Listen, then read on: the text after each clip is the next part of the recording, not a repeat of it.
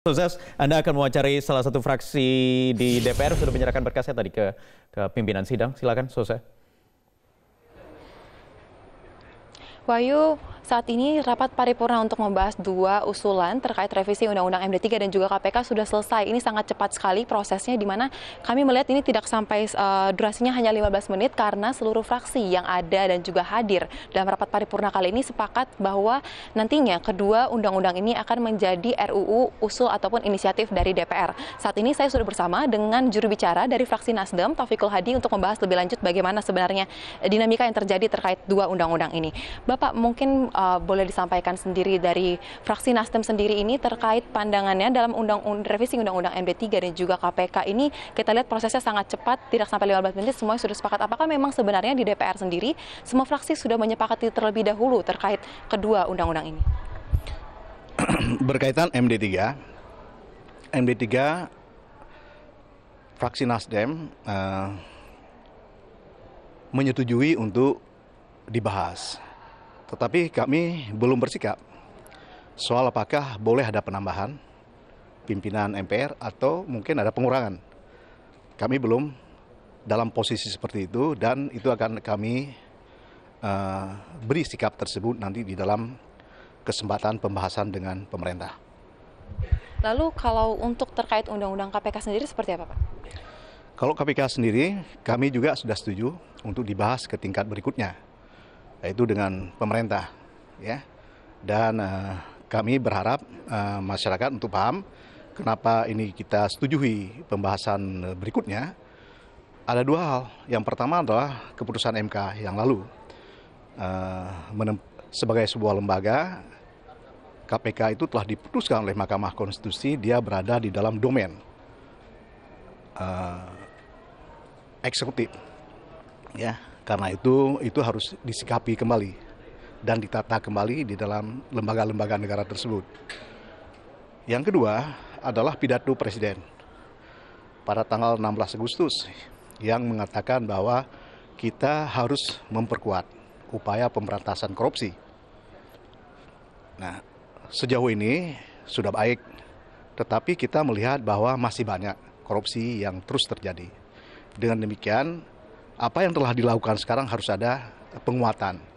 Kalau hanya menangkap orang saja, menurut Presiden, itu adalah bukan menyelesaikan persoalan, tetapi bagaimana melakukan pencegahan. Maka uh, perspektif Presiden itu kami sambut sekarang ini. Bapak, kita membahas kembali lagi terkait Undang-Undang MD3 yang akan direvisi. Ini hanya akan membahas terkait pimpinan ataupun formasi dari kursi pimpinan MPR. Apakah dari fraksi Nasdem sendiri melihat adakah urgensi yang sangat mendesak untuk dilakukan perubahan dari formasi kursi MPR sendiri? Uh, masalah MD3 ini adalah setiap tahun secara uh, terus uh, setiap pergantian uh, uh, periode anggota DPR itu ada hal yang mendesak untuk dibicarakan karena memang itu adalah persoalan politik. Itu adalah menurut pendapat eh, teman-teman uh, fraksi lain. Meskipun kami belum tentu akan memiliki sikap yang sama. Karena itu kami akan menilai hal tersebut walaupun kami setuju bahwa itu akan boleh dibicarakan uh, untuk didorong ke tingkat pembicaraan berikutnya, tetapi kami uh, belum bersikap dalam hal tersebut. Jadi dengan demikian harus uh, kami ingatkan bahwa fraksi Nasdem tidak me, tidak memposisikan diri pada persoalan perspektif apakah ini adalah penting atau tidak penting. Tetapi kalau kami nanti melihat di dalam pembahasan itu adalah argumentasinya, kalau adalah kalau misalnya argumentasinya tidak tepat, apakah akan dikurangi atau ataupun ditambah, tentunya kami akan menolak seperti itu. Tetapi kalau misalnya argumentasinya adalah tepat, ya kita lihat nanti. Tapi sekarang kami belum bersikap sama sekali terhadap hal tersebut. Oke, berarti Nasdem masih terbuka opsi untuk melihat dulu bagaimana proses yang berjalan. Tapi eh, Bapak sampai dengan saat ini, Undang-Undang MD3 sendiri kita ketahui bersama bahwa ini ya dikatakan penambahannya untuk mengakomodir dari jumlah uh, ataupun fraksi-fraksi yang ada di Senayan sendiri. Berarti kemungkinan besar jika 2024 nanti akan berubah lagi ya Pak? Pertama begini, yang harus kita lihat di dalam konteks itu adalah sikap fraksi. kalau memang fraksi banyak mendorong seperti itu, maka keputusan politik harus seperti itu. Itu kita harus lihat uh, apa sebuah fakta politis ya. Tetapi juga kalau kami adalah selain fakta politis itu, fraksi Nasdem juga adalah mempertimbangkan sikap masyarakat juga.